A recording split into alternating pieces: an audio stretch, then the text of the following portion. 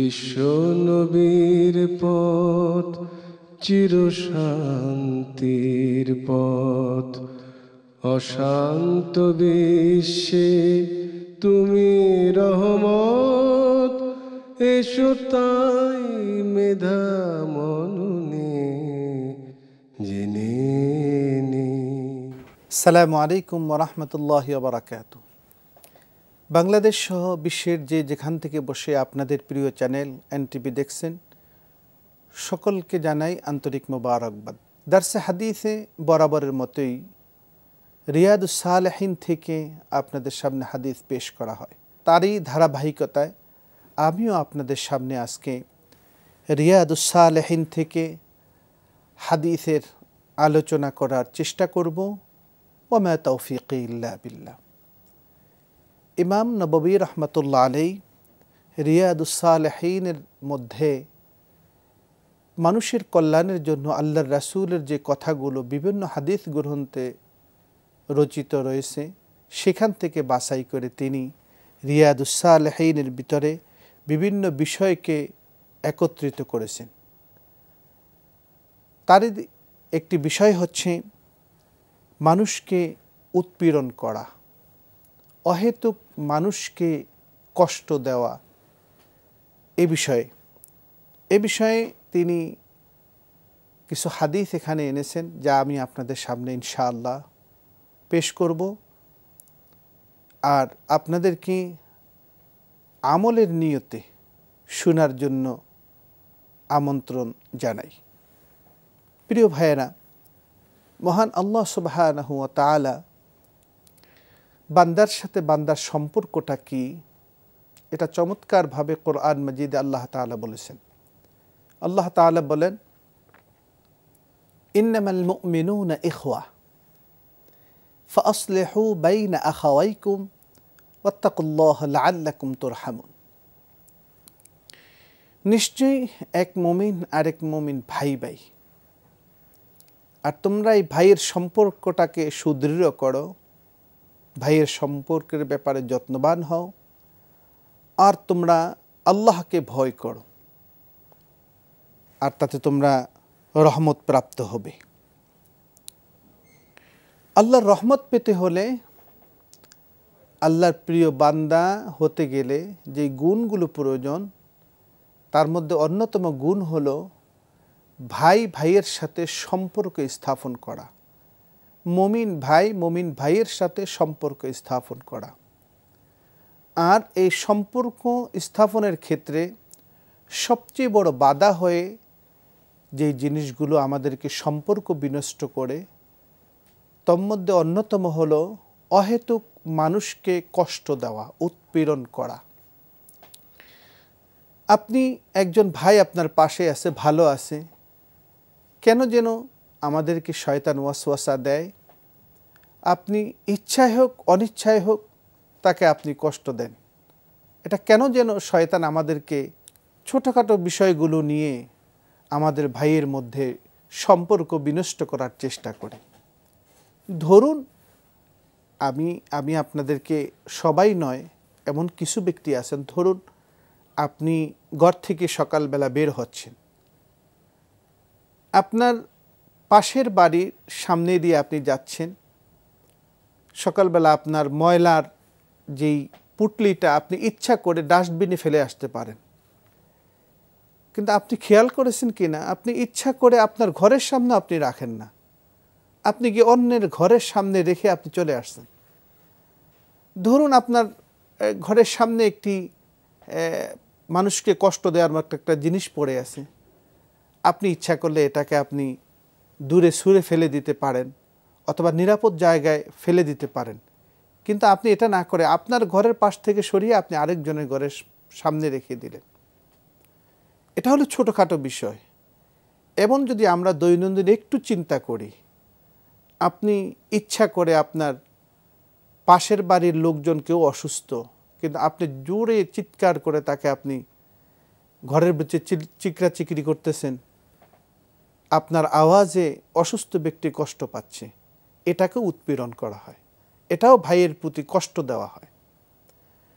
আপনি ঘরের ভিতরে আপনি কোনো কিছু শুনতেছেন, আপনি ইচ্ছা করে টিভির ভলিউম বা আপনার কোনো কিছু শোনার জন্য আপনি গানের ভলিউম, আপনি এত জোরে চিৎকার করে বাজাইতেছেন, শব্দ করে বাজাইতেছেন, আপনার পার্শ্ববর্তী ব্যক্তির কষ্ট হচ্ছে। এটাকে উৎপীড়ন করা হয়। কিন্তু একজন মমিন কখনো এটা করতে পারে না। রাসুল করিম সাল্লাহ আলিহি ওয়াসাল্লাম মমিনের মধ্যে এই গুণগুলো, যে কয়েকটি গুণ মমিনের মধ্যে থাকা চাই, তার মধ্যে একটি হচ্ছে, তুমি নিজের জন্য যেটা ভালো মনে করবে, অপরের জন্য সেটা তুমি ভালো মনে করবে। আপনি যেমন সুন্দরভাবে থাকতে চান, আপনি যেমন বাজে আচরণ থেকে মুক্ত হতে চান আপনাকেও চেষ্টা করতে হবে। আপনার দ্বারাও যেন আপনার কোনো ভাই কষ্ট না পায়। আপনি দেখুন, এ প্রসঙ্গে রাসুল করিম সাল্লাহ আলিহি ওয়াসাল্লাম কত চমৎকার একটি হাদিস আমাদের সামনে বলেছেন। আবদুল্লাহ ইবনে আমর ইবনুল আস রাদি আল্লাহ তালহুমা আনহুমা কল কল রসুল্লাহ সাল্লাহ আলিহি ওয়াসাল্লাম, আল মুসলিমু মান সালিম আল মুসলিমোনা মিল্লিসানি ওয়াদি ওয়াল মান হাজারা মা নাহাল্লাহ আন কত চমৎকার করে দেখেন আল্লাহ রাসুল আমাদের কল্যাণের জন্য, বান্দার সুন্দর একটা সম্পর্কের জন্য, ভাই ভাইয়ের সাথে সুন্দর একটি সম্পর্ক জুড়িয়ে দেওয়ার জন্য। আল্লাহর রাসুল তার উম্মতের জন্য, উম্মতের কাণ্ডারি নবীজি তার উম্মতের মধ্যে সুন্দর সম্পর্ক যাতে স্থাপন হয়, এজন্য কত চমৎকার তিনি আমাদেরকে উপদেশ দিয়েছেন।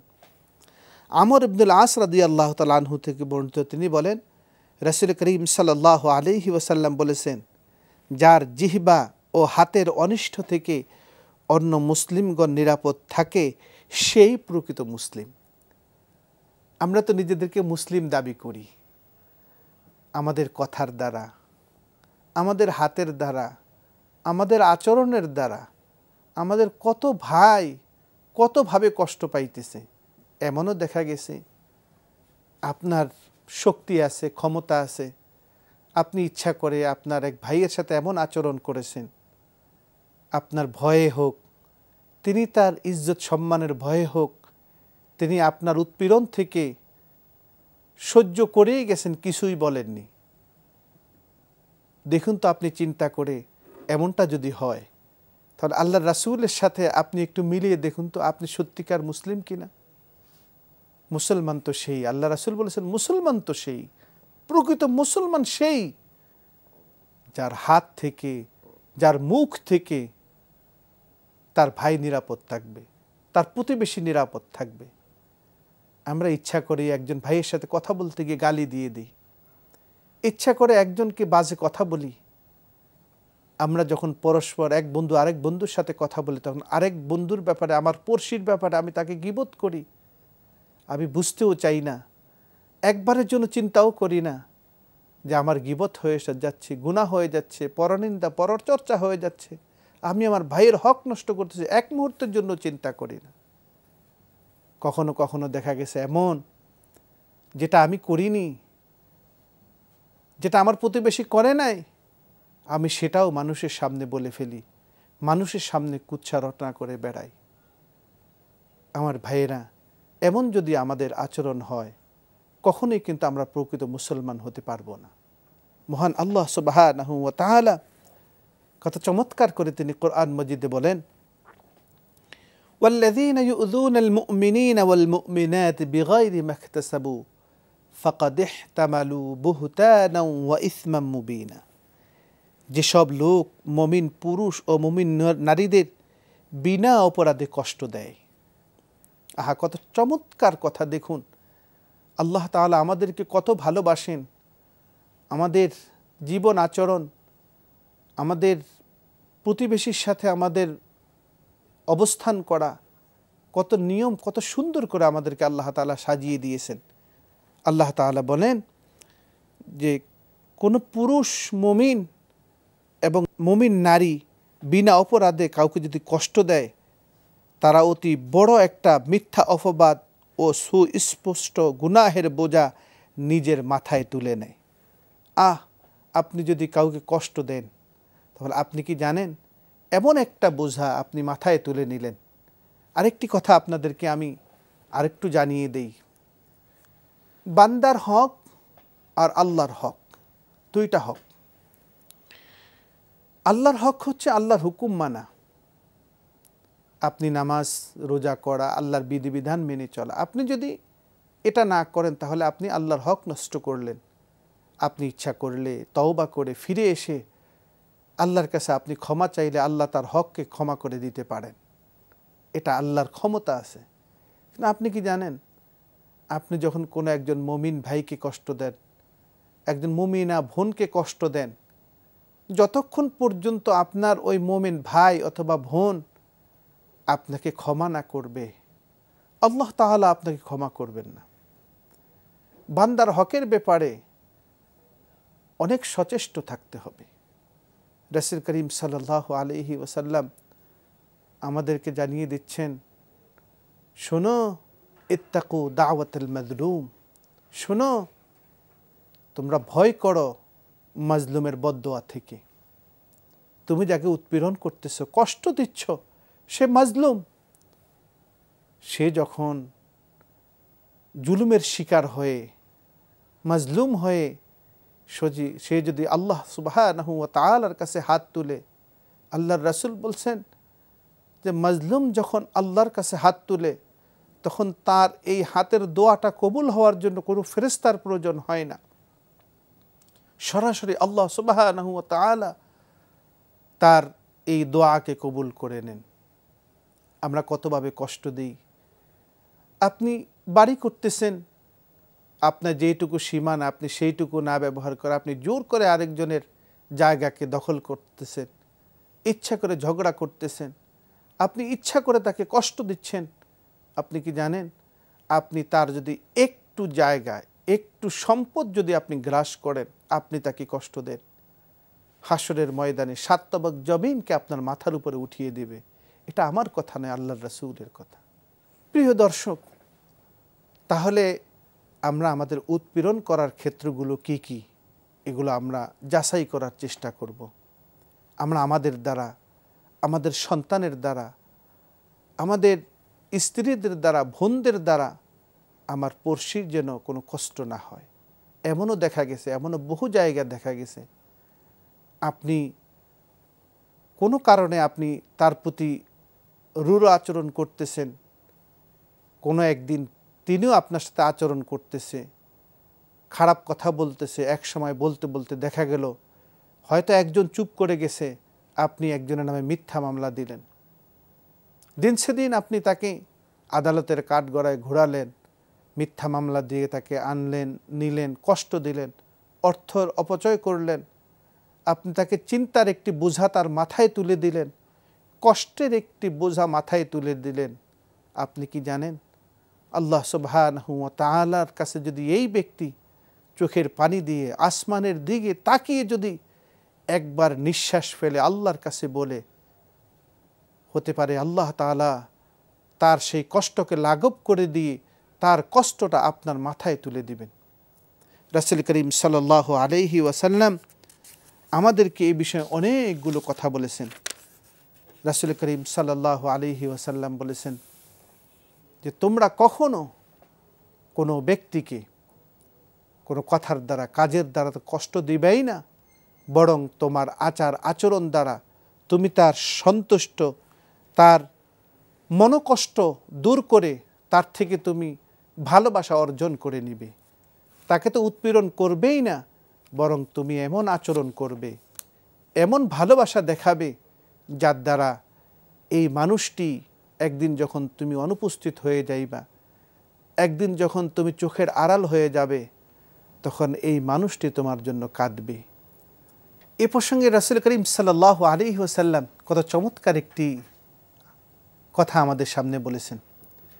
রাসুল করিম সাল্লাহ আলী ওসাল্লাম বলেন قال رسول الله صلى الله عليه وسلم من أحب أن يزحزح عن النار ويدخل الجنة فلتأته منيته وهو يؤمن بالله واليوم الآخر وليأتي إلى الناس الذي يحب أن يؤتى إليه হাদিসটি মুসলিম শরীফ থেকে রিয়াদুসালহীনে সংকলিত করা হয়েছে, যে রসুল করিম সাল্লাহ আলহি ওসাল্লাম বলেন, যে ব্যক্তি জাহান্নাম থেকে মুক্ত হতে এবং জান্নাতে প্রবেশ করতে চায়, সে যেন আল্লাহ ও আখেরাতের প্রতি ইমানদার অবস্থায় মৃত্যুবরণ করে এবং মানুষের সাথে এমন ব্যবহার করে, যে ব্যবহার সে নিজের জন্য অন্যের কাছে আশা করি। দেখুন, এই কথাটা এমনভাবে আল্লাহ রাসুল অল্প কথায় অনেক চমৎকার করে আমাদেরকে বলে দিয়েছেন। আমি এই হাদিসটি অর্থ বলার আগে আপনাদেরকে একটু বলতে চাই, কবির একটি ছোট্ট কথা। এমন জীবন তুমি করিবে গঠন, মরণে হাসিবে তুমি, কাঁদিবে ভুবন। রাসুল করিম সাল্লাহ আলী আসাল্লাম বলেন যে ব্যক্তি জাহান্নাম থেকে মুক্ত হতে চায় এবং জান্নাতে যেতে চায়, জাহান্নাম থেকে মুক্ত হয়ে জান্নাতে যেতে চায়, সে যেন আল্লাহ এবং আখেরাতের প্রতি ইমানদার অবস্থায় মৃত্যুবরণ করে। এটা হলো একটা। এরপরে আল্লাহ রাসুল বলেন, দ্বিতীয় হলো সে এমনভাবে মানুষের সাথে ব্যবহার করবে যে ব্যবহার সে নিজের জন্য অন্যের কাছে আশা করে। আপনি যেমন চান আপনার ভাই, আপনার পড়শি আপনাকে ভালোবাসুক, আপনার পড়শি থেকে আপনি, উৎপীড়ন থেকে আপনি বেঁচে থাকুন, তার জুলুম থেকে আপনি বেঁচে থাকুন, এটা যেমন আপনি আশা করেন, তাহলে আপনি যদি জান্নাতের জান্নাতের প্রত্যাশী হয়ে থাকেন, আখেরাতকে ভয় করে থাকেন, তাহলে আল্লাহ রাসুল বলেছেন আপনার মধ্যেও এমন চরিত্র হওয়া চাই। আপনিও আপনার কর্মের দ্বারা, কথার দ্বারা, কাজের দ্বারা আপনার ভাইকে উৎপীড়ন থেকে আপনি, ভাইয়ের প্রতি জুলুম করা থেকে, ভাইয়ের প্রতি অন্যায় আচরণ করা থেকে আপনিও বিরত থাকবেন। প্রিয় ভাইয়েরা, আপনি একটু খেয়াল করে দেখুন। আপনি চাচ্ছেন সুন্দর একটি বাড়ি করতে। আপনার ভাই সেও চাচ্ছে বাড়ি করতে। এমনও দেখা গেছে, আপনি আপনার কর্মটা ঠিক করতেছেন, কিন্তু আপনি আপনার ভাই যেভাবে না করতে পারে, যেভাবে হোক, ষড়যন্ত্র করে হোক, যেভাবে হোক আপনি তাকে বাধা দিচ্ছেন। এগুলো প্রত্যেকটা কাজ আমরা যদি ইচ্ছা করি দৈনন্দিনভাবে অনেকগুলো আপনি চেষ্টা করলেই আপনি বুঝতে পারবেন কোন কাজের দ্বারা আপনার ভাইয়ের প্রতি আপনার জুলুম হচ্ছে। আপনি যদি আল্লাহ এবং তার রাসুলের প্রিয় বান্দা হতে চান, তাহলে অবশ্যই আপনি এই কাজগুলো পরিহার করে আপনার ভাইয়ের সাথে আপনি সুন্দর আচরণ করবেন। আরেকটি কথা আমি আপনাদেরকে জানিয়ে দেই। একটি ভাইয়ের প্রতি সুন্দর আচরণ যেমন দুনিয়ার জীবনে প্রয়োজন, আরেকটি আচরণ আমাদের মনে রাখতে হবে। রাসুল করিম সাল্লাহ আলহি ওয়াসাল্লামের সাহাবিগণ যে কাজটি করতেন, সেটা হলো দুনিয়ায় যেভাবে সুখ শান্তিভাবে থাকার জন্য নিজেদের অধিকারের প্রতি খেয়াল রাখতেন, তেমনিভাবে তারা চাইতেন তাদের ভাইয়েরা যেন পরকালেও নিরাপদে থাকতে পারে, জাহান্নাম থেকে মুক্ত থাকতে পারে। এই জন্য সাহাবাকেরাম আজমাইন তার পাশের ভাইদের দ্বারা যদি দেখতেন, কোনো অন্যায় দেখতেন, তার কাছে যাইতেন, তাকে বুঝাতেন, তাকে অন্যায় থেকে ফিরিয়ে আনার জন্য সর্বাত্মক চেষ্টা করতেন। রাসেল করিম সাল্লাহ আলাইহি ওয়াসাল্লামের হাদিদগুলো শোনাতেন, এমনকি জাহান্নামের বিষয়ে তাদেরকে অবহিত করতেন। আপনি নিজে নামাজ পড়তেছেন, নিজে তসবি পড়তেছেন, ভালো কাজ করতেছেন, কখনো কি দেখেছেন? আপনি শুধু আপনার ভাইয়ের প্রতি অন্যায়টুকুই দেখলেন, কখনো কি আপনার ভালোবাসা দিয়ে আপনার ভাইকে ডেকে আপনি নামাজে নিয়ে যেতে পারছেন? আপনি নিজে কোরআন তেলাওয়াত করতে পারেন। কখনো কি আপনার ভাইয়ের প্রতি আপনি খবর নিয়েছেন, ভাই, আমি কোরআন তেলাওয়াত করতে পারি, তুমি কি কোরআন তেলাওয়াত করতে পারো? যদি তুমি কোরআন তেলাওয়াত করতে না পারো, তাহলে, ভাই, আসো, আমি কোরআন তেলাওয়াত করি, তুমিও কোরআন মজিদ শিখো। এটাই তো ছিল রাসুল করিম সাল্লাহ আলী হোসাল্লাম সাহাবিতের আদর্শ। এক পড়শি অসুস্থ হয়ে আছে। কখনো কি আপনি তাকে দেখতে গিয়েছেন? এক ব্যক্তি ক্ষুধার্ত অবস্থায় আছে, কখনো কি আপনি তার খাবার নিয়ে গেছেন? খোঁজ নিয়েছেন? এক ব্যক্তি শীতে কষ্ট পাচ্ছে, আপনি কি কখনো তার জন্য শীত বস্ত্র নিয়ে গিয়েছেন? আল্লাহ তাআলার কাছে প্রত্যেকটা বিষয় আপনাকে জবাবদিহি করতে হবে। আপনি শুধু একজন ভাইকে কষ্ট দেওয়া থেকে বিরত থাকলেই আপনি আল্লাহ তাআলার কাছে প্রিয় বান্দা হওয়া যাবে না। যতক্ষণ পর্যন্ত আপনি আপনার আল্লাহর প্রিয় বান্দা হওয়ার জন্য আপনার ভাইয়ের সর্ব বিষয় আপনি খেয়াল না করবেন। আর সর্বশেষ আমাদেরকে যেই বিষয়গুলো নিয়ে জাহান্নামের দিকে ধাবিত করে, সেটা হলো আমরা আমাদের ভাইদের তখনই উৎপীড়ন করি, কষ্ট দেই, যখন আমাদের দিলের মধ্যে, অন্তরের মধ্যে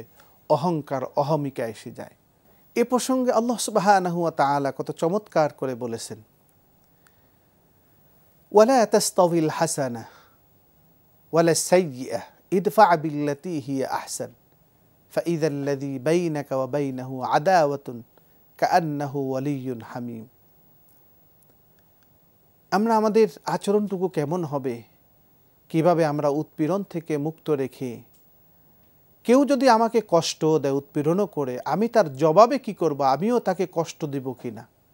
এটা আমাকে সিদ্ধান্ত নিতে হবে।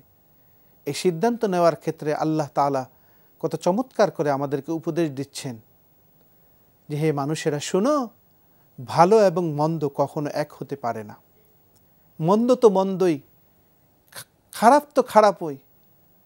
তুমি যদি খারাপের মোকাবিলায়, তুমি খারাপ না করে বরং তুমি যদি সেই খারাপটার মোকাবিলা করো উৎকৃষ্ট কাজের দ্বারা, তোমার সাথে অন্যায় করতেছে, তুমি অন্যায়ের মোকাবিলা যদি তুমি ন্যায় আচরণ দিয়ে করতে পারো, তুমি যদি এই জুলুমের পরিবর্তে যদি তার জন্য দোয়া করো, তার হেদায়তের জন্য চেষ্টা করো, আল্লাহর কাছে সাহায্য চাও, তো আল্লাহ সুবাহ তালা বলেন, তাহলে যেই ব্যক্তি তোমাকে কষ্ট দিবে, যারাই কষ্ট দিবে, যেই সম্প্রদায় তোমাকে কষ্ট দিবে এক সময় তোমার এই সবরের দ্বারা, তোমার সুন্দর আচরণের দ্বারা আল্লাহ তাআলা তোমাকে তার প্রিয় করে দিবেন।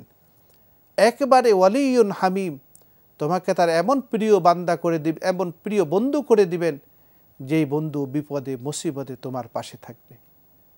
প্রিয় দর্শক, আজ এই আলোচনা থেকে আপনাদেরকে আহ্বান জানাই, আসুন অন্যায়কে অন্যায় দিয়ে প্রতিরোধ নয়, বরং কেউ যদি আমার প্রতি জুলুম করে, আমি সুন্দর আচরণ দিয়ে তার মোকাবিলা করব। আর আল্লাহর ভয়ে, আল্লাহর রেজাবন্দি হাসিলের জন্য, আল্লাহর রাসুলের ভালোবাসা পাওয়ার জন্য আমি আমার পড়শিকে, আমি আমার ভাইকে অহেতুক কষ্ট দেওয়া থেকে বিরত থাকব।